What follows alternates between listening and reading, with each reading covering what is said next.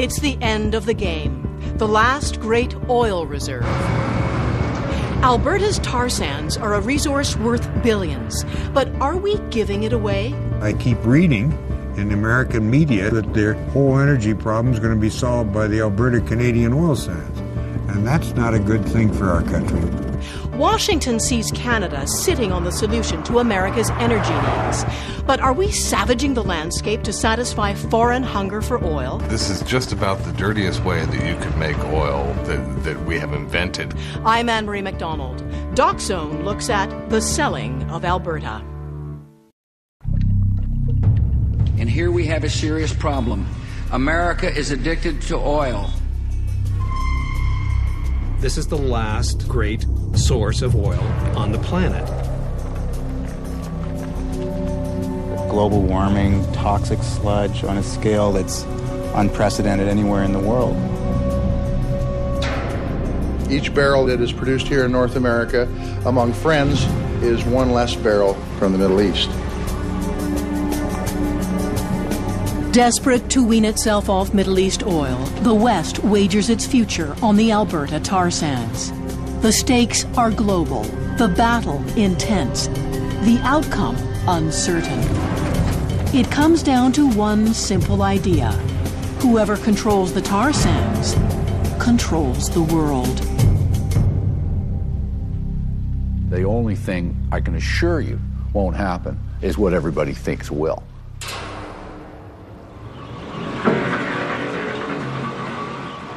Canada used to be a bit player in the global oil market with a reserve of 5 billion barrels of conventional crude. But deep in the backwoods of Alberta is a buried treasure. Trapped under an area the size of Florida, 174 billion barrels of oil up for grabs. What looks like dense topsoil is actually black gold, enough unconventional oil to last a hundred years. Once dismissed as dirty and expensive, the tar sands are now seen as an energy El Dorado. With the U.S. craving energy security and new super consumers like China and India starving for oil, Canada's unconventional crude has now become conventional.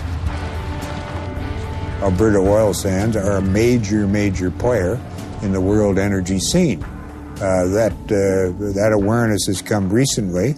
We forecasted it many years ago, but it's now very real. With development quadrupling over the next decade, the world wants in, and Alberta is open for business. But are they driving a hard bargain or selling Canadian sovereignty at liquidation prices? You can't build the world's largest energy project or the world's largest capital project for that matter and not change the nation. Canada now has this image as some kind of emerging energy superpower. And so more and more the politics of the country have to deal with oil and money from oil and the environmental problems that come, in particular, from dirty oil. And the tar sands has implications for every aspect of life. The rise of Canada as an energy superpower is tied to the collapse of America's sense of invincibility. The American dream had been fueled by a steady supply of cheap, available oil. But on September 11, 2001, everything changed. Oil supply and pricing had been stable for 20 years. Now the only thing certain is uncertainty.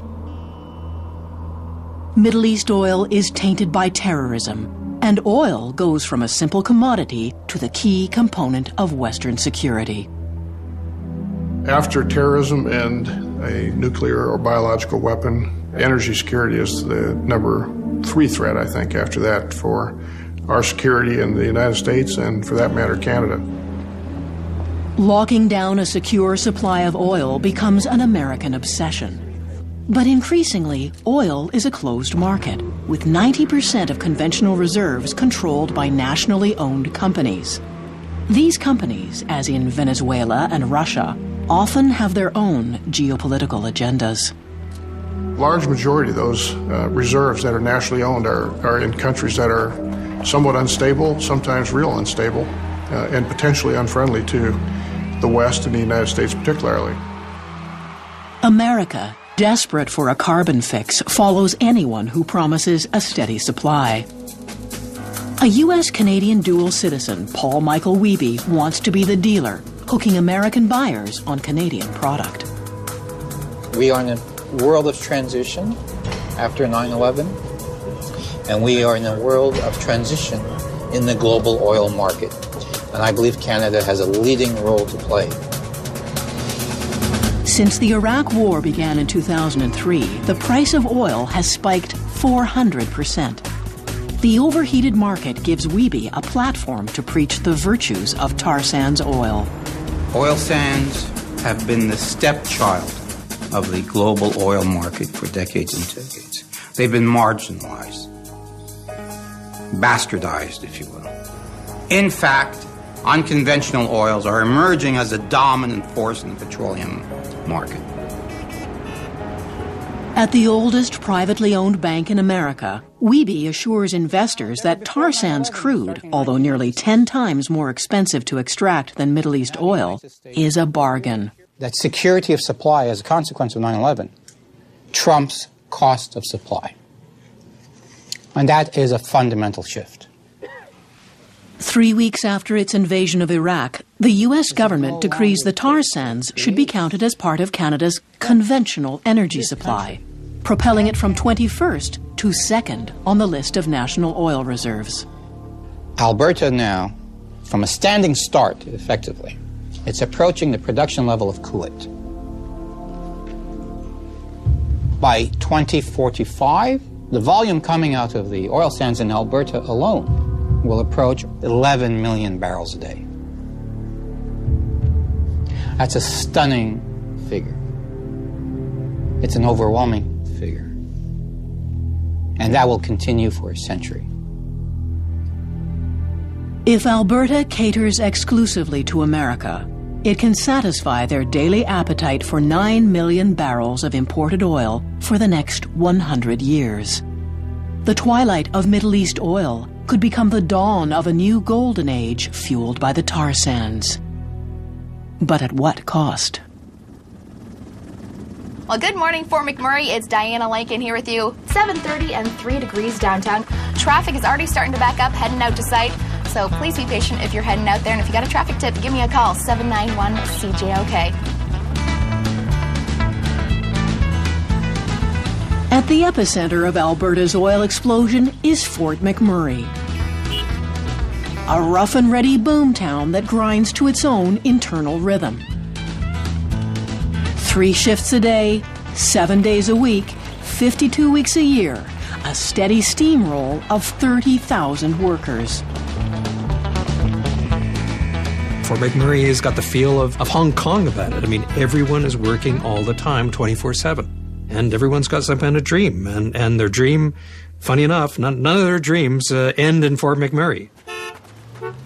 McMurray attracts fortune seekers from around the globe, especially from Newfoundland.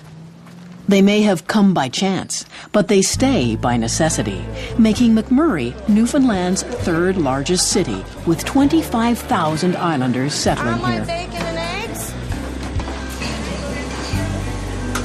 Moving from the rock to the sands makes one occasionally crave a taste of home. At Cozy Corners, one can get true comfort food. Newfie hash served by a waitress with a familiar accent. Food for the arteries this morning. Tired of waiting for work, Jeff Wiscombe left St. John's eight years ago, coming to the place islanders call Fort McMoney. Do you like it, James? He and his wife Gail expected to get rich quick, then return home. Try it. But with the birth of James, their roots here have deepened. Well, half the time for Christmas, usually every second year we go home. But now we got him, we'll probably spend more time here, like in his house and his Christmas tree. The big thing with Newfoundlanders, especially, that they just they're drawn to where they grew up. I don't know what it is. It's a certain magic about the place, I guess. I don't know. Well, we'll get home eventually. We'd like to get home before he, he goes to school. Our goal is in four years, we're hoping. We started out with a three month plan. We came here for three months, so. Only another 35 years. and we're here eight years now. yeah, you tell them.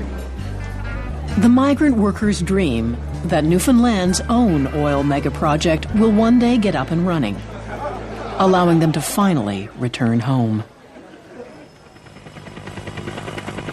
In the middle of the North Sea, other international oil players are plotting their own assault on Canada's tar sands. Stig Bergseth is Senior Vice President with Norway's Statoil, Scandinavia's largest company. Statoil has managed to make money without compromising its social or environmental values. It's flush with cash from its North Sea reserves. But those reserves are finally declining. You say declining, yes. I may argue that a little bit and say our ambition is to maintain the level that we currently are at. So we need to look abroad.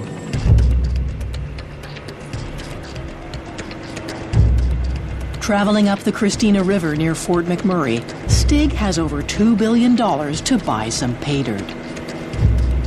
He's just learned his company's oil fields in Venezuela have been expropriated by President Chavez, and Stig's desperate to secure a new foreign beachhead. Canada offers an attractive and stable regime very different from uh, most other places around the world where you can find oil and gas. Looming over the riverbank is a rich outcrop of oil soaked land. It's part of an 1,100 square kilometer lease held for the last six years by Calgary based North American Oil Sands Corporation. Like many Canadian companies, they lack the billions needed to exploit the site, money that Stig has in abundance. My goodness. Look at this. Canada's loss is Norway's gain. I'd just like to welcome you. Okay. Stig is here to inspect the land with a team of geologists, substantiating claims before buying in. And you notice, of course, you're standing on oil sands. Everywhere you look is oil sand. It looks a little gray here, of course, because it weathers. But if you crack it open, you'll see this is oil sand. And of course, it's just sand that's saturated with bitumen. This nugget of black gold is part of more than 2 billion barrels of recoverable oil that the Calgary leaseholder claims are trapped in the land. What you're looking at here, I mean, this is a natural pavement, huh? and it's slowly melting. And in fact, you can see that this is this could even be considered a liquid. You can see the the flow, and you can put your imprint in it. On a very hot day, this becomes very, very soft. And once you dig it up, you can see how rich that is. That's about as rich oil sand as, as comes about naturally. Hmm. The size of the resource is enormous. And the day you can commercialize that resource, Canada will be sort of the second largest resource country in the world. To become second only to Saudi Arabia, Canada seems content to allow companies like Statoil lead the way. If foreigners drive tar sands development, are Canadians just along for the ride? I think it is a critical question. Are we do we have any sovereignty at all in terms of our, our energy sector? Because it is majority foreign owned. And interestingly, a lot of the companies involved now, and increasingly so, are national oil companies or pu- publicly owned oil companies from nations that have chosen to maintain that sovereignty over their own resources, which is very ironic that Alberta and Canada haven't got that kind of public ownership in Alberta's oil sands at all. There's a big difference between being an energy colony and an energy superpower. Everyone wants a piece of the tar sands. Yet Alberta continues to charge one of the lowest oil royalty rates in the world. Albertans are trying to say, well, we just want to give this energy to you guys and sell it as quick as we can, and, and we're kind of in liquidation mode. And that's where we have not been very smart. And what the tar sands tell us every day, which we seem to neglect and forget every day, is that this is the end of the game. This is the last great source of oil on the planet. And you know what, guys? It's really dirty, it's really expensive, it comes with a huge environmental footprint. It takes approximately the energy equivalent of one barrel of oil to produce two barrels of oil in Fort McMurray.